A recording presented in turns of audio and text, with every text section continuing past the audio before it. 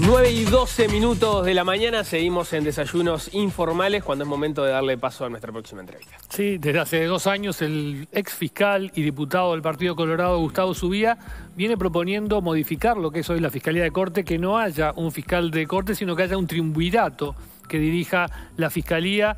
La propuesta se plasmó en un proyecto de ley que no llegó a ser analizado por falta de apoyos políticos. Sin embargo, hace unos días el diario El Observador informaba que los vientos parecen estar cambiando y ahora hay algunos sectores y dirigentes importantes que ven con buenos ojos esta idea de modificar la dirección de la Fiscalía.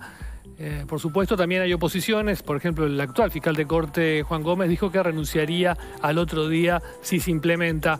Para hablar de este tema, tenemos a quien ha propuesto la idea, al diputado Gustavo Subía. Bienvenido. Muchas gracias, buenos días. Bienvenido. Bienvenido. ¿Siente que ha cambiado el viento político respecto a su propuesta? Parece, parece que ha cambiado. Acá uno no, no puede establecer conclusiones definitivas por notas periodísticas, pero la nota periodística referencia que el principal viento, que se llama presidente de la República, el principal viento aparentemente ha cambiado.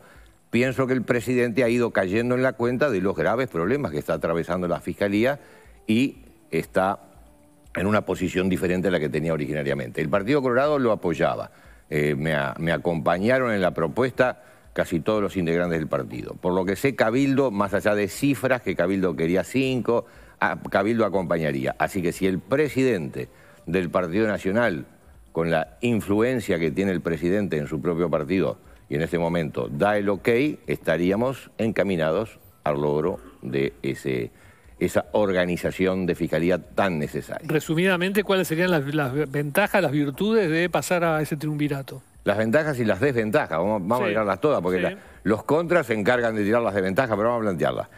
Ventajas. El cargo de fiscal de corte en los últimos años se ha transformado en el cargo de mayor poder, pero por lejos, después del presidente de la República.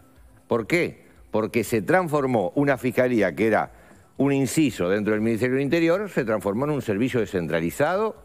Díaz, con su capacidad, que nunca se la niego, tengo orientaciones completamente diferentes, siempre digo lo mismo, pero un tipo muy capaz, logró hacer un código, hacer instrucciones generales las instrucciones generales tienen ese tamaño de hojas de perfil. Bueno, hacer instrucciones generales logró modificaciones legislativas muy importantes, entre ellas los fiscales no tienen tope horario, no tienen tope horario. Un fiscal puede estar exigido de trabajar 23 horas, no hay tope horario. Entonces, todo ese poder enorme que por más cosas podemos relatar, debe de ser, de alguna forma, eh, equilibrado la cantidad de sumarios que se han aplicado a colegas fiscales por parte de eh, la administración Díaz y ahora la administración Gómez, que viene a ser una continuación de la administración Díaz, una cantidad de sumarios muy importantes que luego terminan en el TCA siendo anulados. Quiere decir que un organismo administrativo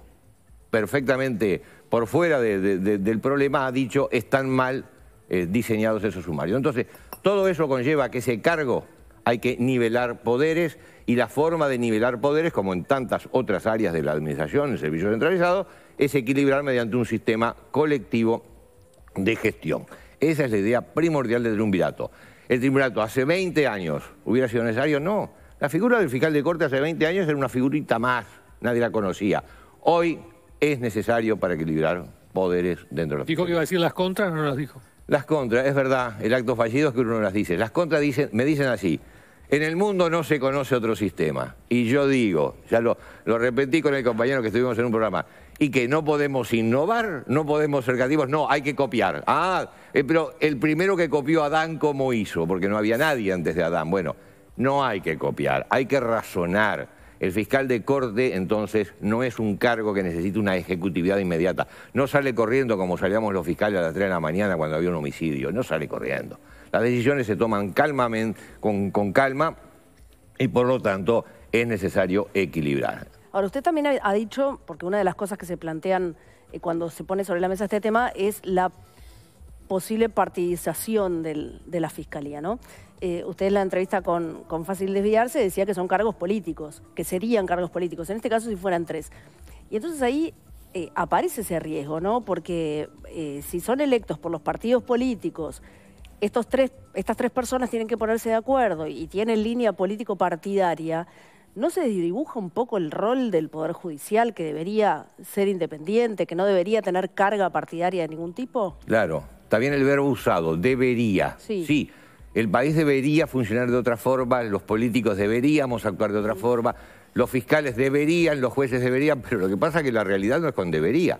La realidad es que el cargo de fiscal de corte es un cargo, siempre lo ha sido, siempre lo ha sido, cargo político y si usted pone la cabeza política, no se queje de que el resto de alguna forma también reciba esa influencia. De, todas formas hay una diferencia entre que esa cabeza política sea una persona sola que requiere una mayoría especial y por lo tanto requiere un consenso de todo el espectro político, a que sean tres donde justamente, usted lo ha dicho, el intercambio de figuritas facilita destrabar ese bloqueo que hay, ahora, ¿no? Tres que requieren mayoría, tres que requieren aprobaciones políticas usted, usted sabe mejor que yo cómo se arregla eso. Dos para vos, uno para mí. O, ¿Y cómo se arregla en el resto de la administración y con una figura sola precisás una, una figura que tenga más o menos el consenso. ¿Cómo se arregla en la administración central los servicios descentralizados del Estado que tienen pluralidad de integrantes si no es políticamente? Pero estamos hablando de la justicia, ¿no?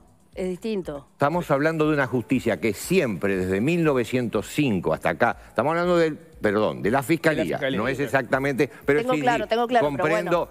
A ver, los ministros de la Suprema Corte de Justicia, ¿cómo se creen ustedes? Está lindo, mm, perdón, quiero, me voy a, tranquilizar porque me entusiasmo. No pensemos como eh, románticos. Los ministros de la Suprema Corte de Justicia ustedes piensan que se eligen estrictamente por su currículum vitae. Muchachos. Lo que sí es verdad es que hay una tradición que por algo será así. Yo entiendo que usted este, es un, innovador.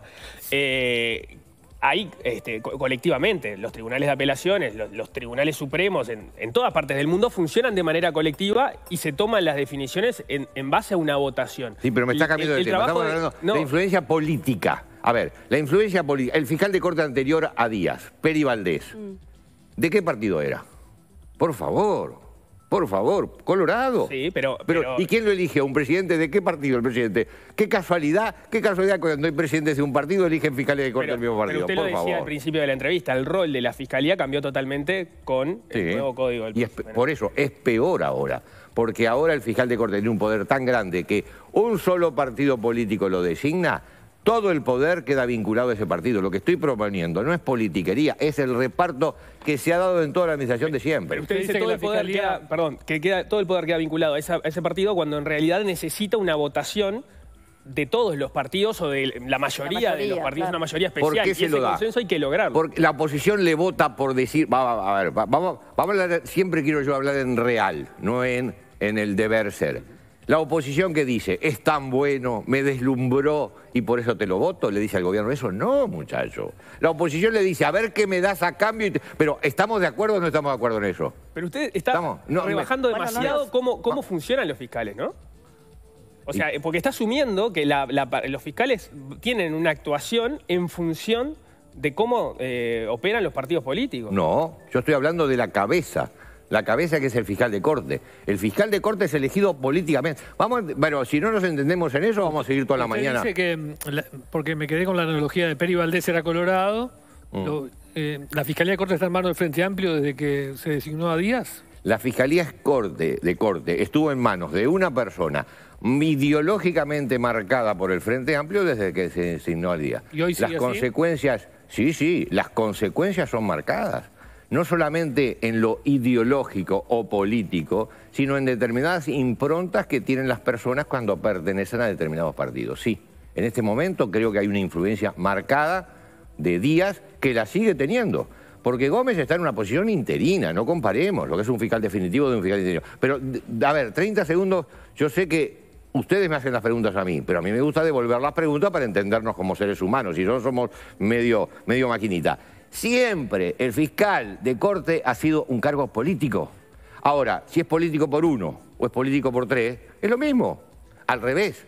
De alguna forma la oposición va a reivindicar que tiene el derecho a estar en la Fiscalía para poder opinar como en tantos servicios descentralizados, opina también la oposición y cuando se pasa factura te dicen, pero tenías un representante de la oposición que no dijo nada. Bueno, si hubiera habido un representante de la oposición durante el periodo de días que no dijera nada, ahora puede haber posibilidades. Creo que es mucho más democrático, es mucho más republicano. En el último tiempo, la opinión pública, y me parece que esto también puede haber motivado este, el impulso de su proyecto, ha cuestionado que la Fiscalía no ha actuado de oficio, no ha abierto ciertos procesos, no ha investigado cosas que este, debieron de haberse investigado. ¿Cuáles son para usted en la, en la última administración o en el último tiempo esas situaciones que sí se debieron haber investigado y no se hicieron? situaciones variadísimas. Eh, quizás la, más resonante fue la del periodista de Nacho Álvarez, donde una parte decía no hubo allanamiento y la otra parte decía hubo allanamiento. A ver, el fiscal de corte decía no hubo allanamiento y el director de policía decía hubo allanamiento. Hubo allanamiento. Y bueno, el fiscal de corte dijo que no. A ver, tenemos, es, es algo tan grave que un fiscal de corte diga no, la sede de la Fiscalía está en la calle Cerrito. Y otro dice, no, la sede de la Fiscalía está en la calle Paysandú. Muchachos, es, es enorme la diferencia. Esa para tirar la primera. La otra, hubo una incidencia que pasó un poquito desapercibida, el observador la levantó. Un fiscal estaba sacando fotocopias, el doctor Diego Pérez, estaba sacando fotocopias, y se olvida en la máquina de la fotocopiadora de un escrito que terminó en manos después del fiscal de corte. Alguien fue diligentemente y le llevó lo que el otro se había olvidado al fiscal de corte. Y en ese escrito establecía Diego Pérez una serie de explicaciones y también de agravios, iba dirigido a la presidencia de la República, respecto a que determinados temas se los imputaron a él, que los tenía que trabajar cuando hubieran, hubieran correspondido que se imputaran a otro colega fiscal.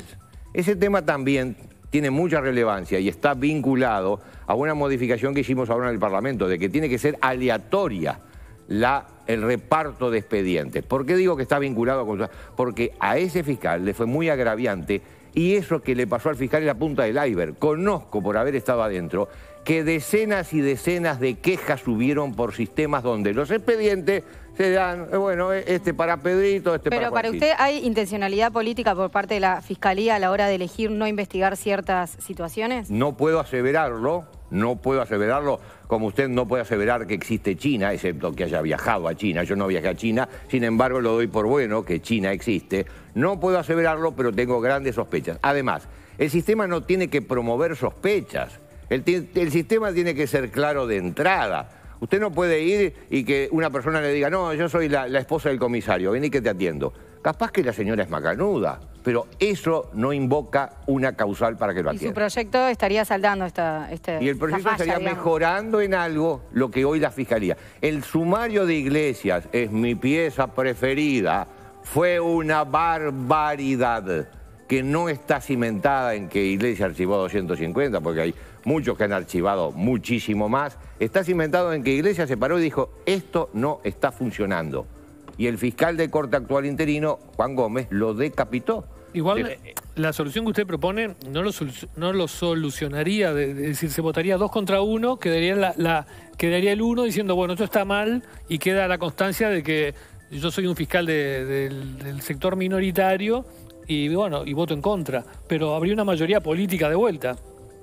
Y si la mayoría política la tiene uno porque es uno solo, estamos de acuerdo. Ahora, cuando la mayoría la política la tienen dos porque es contra uno... No, se lo critico, pero no, cambia ah. la situación, digamos. No, cambia un poco porque entonces el Parlamento, con el, partido que gana, se lleva todo el Parlamento.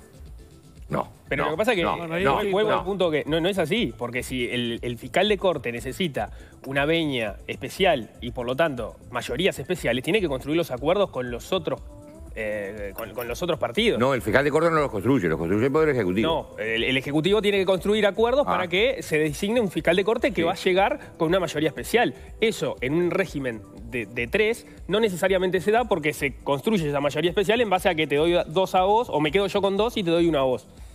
Sí, pero no entiendo. entonces, entonces esa mayoría va, a estar eh, va a ser de quien sea el oficialismo pero esa mayoría va a estar controlada, por lo menos personalmente, por alguien que dice, eso estuvo mal y lo va a decir oportunamente, lo cual, el Parlamento no se lo lleva el que gana, se reparten proporcionalmente. Estamos queriendo ir a una especie de, de, sistema, de sistema duro en Fiscalía. Hoy hay un sistema duro, el fiscal de corte tiene mucho más, insisto, repito, tiene mucho más poder y eso hay que controlarlo. El exceso de poder hace daño.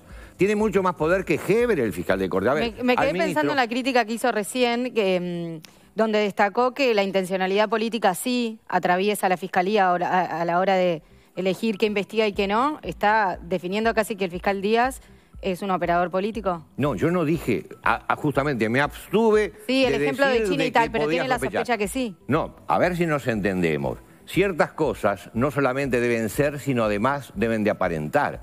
No es confiar o no confiar en los colegas. Se puede confiar, pero hay que poner reglas claras. A ver, a usted le gustaría, usted va a hacer una denuncia política. Vamos, dejemos la denuncia de, de la garrafa, que esa no importa. Una denuncia política. Por ejemplo, ahora, no sé, el caso de Quechichián. Quechichián, un tema político, se lleva a la fiscalía y el fiscal yo no sé cómo se lo eligió, no sé. A mí me gustaría, ahora en mi rol de político, de decir, se lo eligió con un sistema transparente, se puso un bolillero, tiqui, tiqui, tiqui, tiqui, y se sacó. Casualmente a Quechichián, ¿quién la defendía? ¿Quién la defendía? Díaz. Díaz. ¿Tengo que seguir hablando? ¿Y qué otro, qué otro No, caso sí, emblemático? Sí, la verdad que ¿Quieren que sí. siga hablando? Sí, Ah, ah, oración, Quiero saber qué casos emblemáticos Díaz dejó de investigar por una aparente y presunta eh, intencionalidad política. No, más que primero que no puedo saberlo, porque es una oficina administrativa la que hizo la distribución de los casos. Bueno, a los de casos lo que no se políticos fueron para distri- usted. Bueno, pero todos los casos políticos fueron distribuidos mediante un mecanismo que no es aséptico, no es de alia. Es para ti este... Ahora, si lo hicieron bien o no lo hicieron bien, yo no puedo decirlo si lo hicieron bien porque no estoy siendo el fiscal que indaga. Yo estoy acostumbrado, como los médicos, a trabajar con un paciente adelante que lo abro y veo que tiene. No puedo decirlo. Pero que da para sospechar. ¿Cómo no va, ¿A ustedes no les gustaría que fuera a mano que se entregara un tema, un periodista? Un periodista que a mí no me, no me causa agrado, no, no por ti que me No, es no, muy agradable. es- pero un periodista que no me causa agrado. Viene, viene una denuncia contra ti. Y yo elijo y digo, ¿y si se lo doy a su vía? Que su vía se entusiasma un poquito y de repente... y- o en cambio ¿Usted se lo doy a Pedrito que? Pedrito... ¿Usted actuaba así como fiscal? Yo siempre actué con entusiasmo, con entusiasmo. O sea, si le caía mal tenía más chances de quedar... no, no, bajo ni... El En- entusiasmo entonces, no pero, significa sin que me embargo, caiga. está sembrando esa suspicacia para el resto de sus colegas, ¿no? O sus ex colegas. No, no, estoy sembrando las suspicacias. Estoy diciendo algo elemental, tan básico, que creo que tendríamos que volver a la escuela para decir que no. Estoy diciendo que el ale- la aleatoriedad al distribuir le da más cristalinidad al sistema. Y ustedes más están diciendo que no, que No, la no, no, aleatoriedad no, no, no, le da no, más cristalinidad al sistema. No puedo llegar a En- entender. En, el caso que recién citó de- del escrito que, que estaba haciendo en la fotocopia, que estaba fotocopiando el fiscal Pérez y que iba dirigido a la presidencia de la República, ¿eso es normal? No, no es normal. Probablemente alguien no quedó muy claro el trámite. Yo no tengo elementos para investigar el trámite. Aparentemente estaba arriba de la mesa, ese, pero el fiscal Pérez no lo desmintió.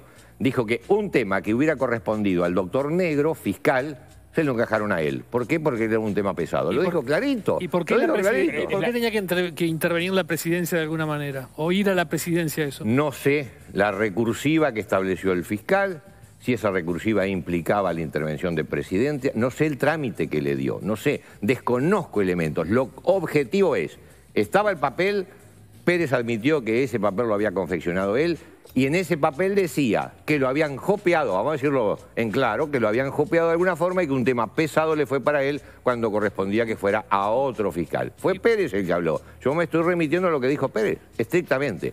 No puedo entender que el sistema mucho más cristalino, aleatorio, sea torpedeado. Ahora hicimos un artículo, salió en la ley de presupuesto y me parece que la Fiscalía va a tener 180 días para organizar un sistema.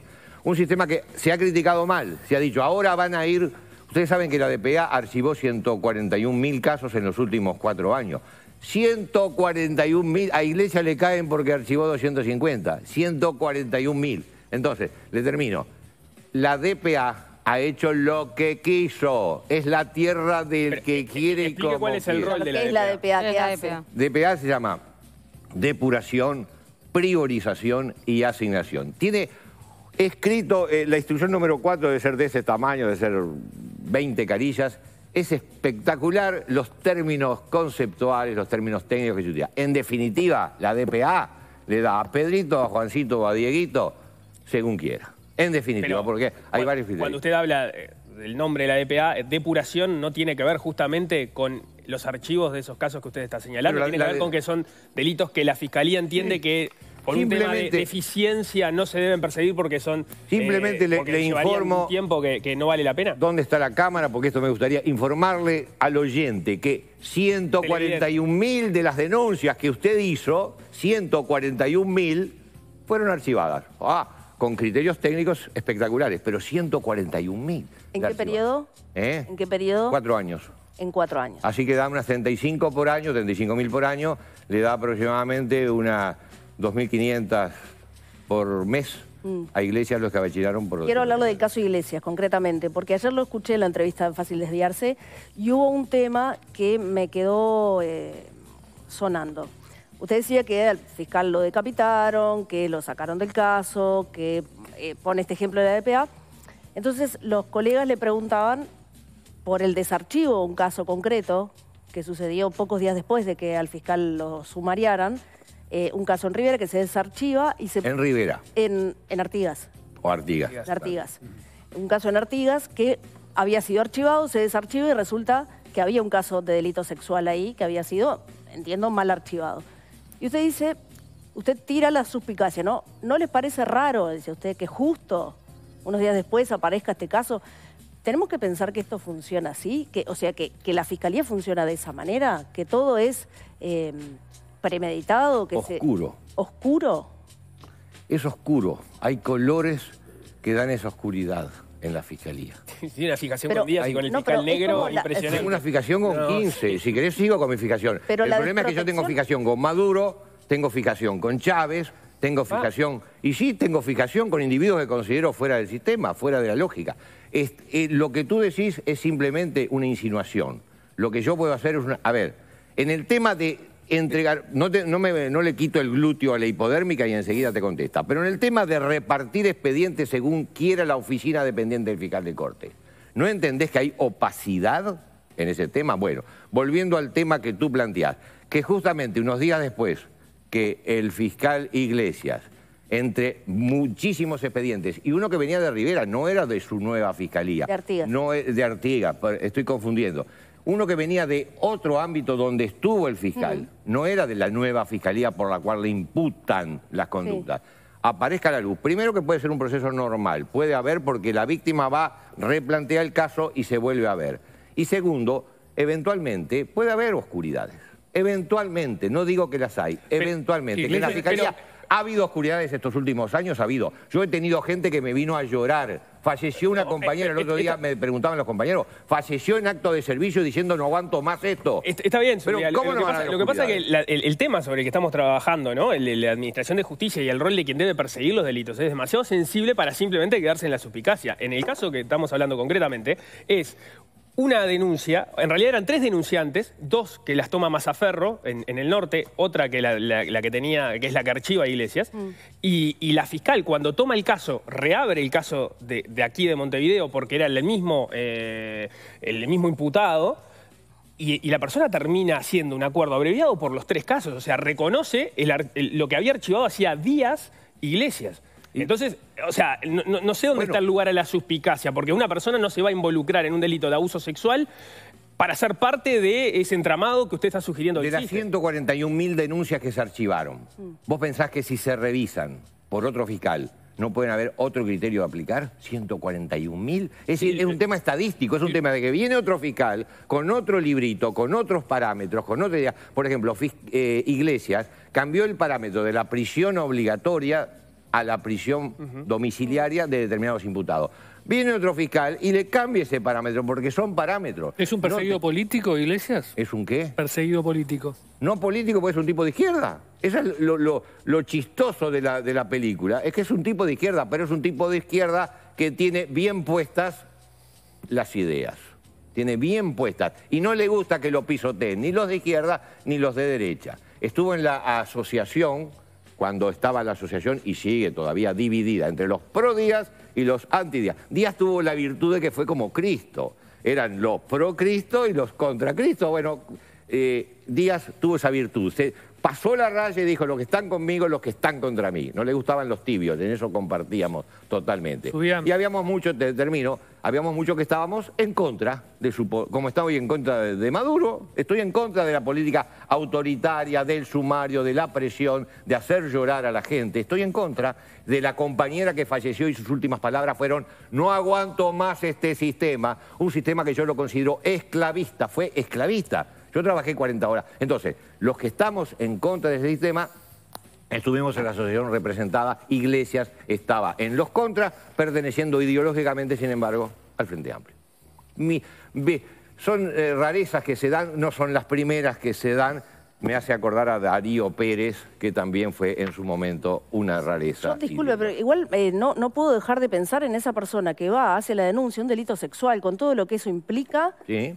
y esa denuncia se archiva y resulta que a los pocos días... Pero hay antecedentes de eso. El segundo fiscal que estudia un caso tiene diverso criterio con respecto al primer fiscal. A ver, a ver, en el caso de Kechichian, ¿qué dijo el fiscal y qué dijo el juez?